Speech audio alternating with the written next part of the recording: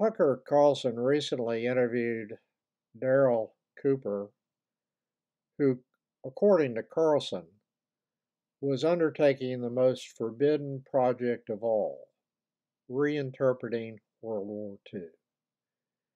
Carlson referred to Cooper as, quote, the most important popular historian working in the United States today, end of quote.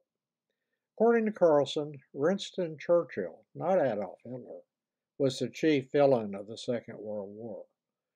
Cooper further stated that Jews did not die as a result of intentional genocide, but ended up dead because Germany did not have enough food to feed them.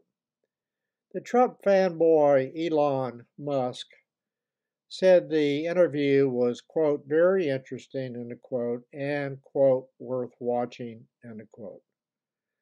Carlson gave Cooper an uncritical treatment as he does all the wing nuts he has on this uh, podcast refusing to push back on Cooper's Holocaust claims, which is to be expected from Carlson.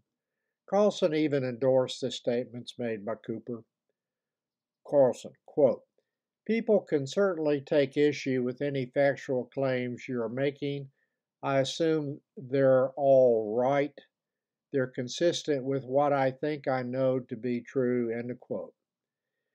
Cooper claims that the criticisms of his views were, quote, totally mendacious, end quote.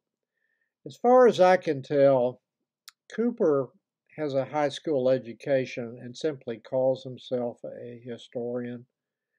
I could not find any disclosures made by him about his educational background, but did find a reference that he was in the Navy when he was 20 years old.